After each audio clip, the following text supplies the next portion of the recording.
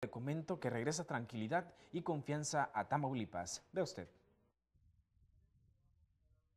Ante el presidente Felipe Calderón Hinojosa, durante el abanderamiento del 105 Batallón de Infantería de la Secretaría de la Defensa Nacional, el gobernador Egidio Torre Cantú sostuvo que la Estrategia Integral de Seguridad Pública está dando resultados muy alentadores y privilegió la voluntad comprometida de los tres órdenes de gobierno. La presencia de las Fuerzas Armadas está regresando la tranquilidad y la confianza a nuestra gente. Estamos en el camino correcto y nada nos ocupa más que la tranquilidad de las familias. Nada nos importa más que ver a las comunidades recobrar la armonía social. Por su parte, el presidente de la República, Felipe Calderón Hinojosa, dijo que la apremiante situación por la que pasa el país demanda una respuesta ética, política y moral por parte de las diferentes instancias gubernamentales. En tanto, Torre Cantú dejó en claro que nada es más importante que recuperar la armonía y tranquilidad social. Por ello, en Tamaulipas se está actuando con decisión y se tiene rumbo en el camino correcto. Estamos actuando con decisión para lograr el Tamaulipas que todos queremos.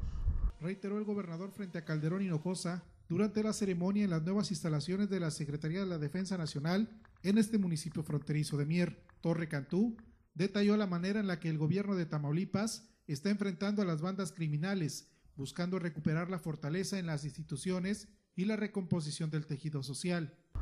Iniciamos una estrategia integral para la seguridad pública, justicia y legalidad que busca la refundación y el fortalecimiento de todas las etapas del proceso, desde las funciones de la policía preventiva hasta la impartición de la justicia y la ejecución de penas. Juntos iniciamos la construcción de tres nuevos campos militares.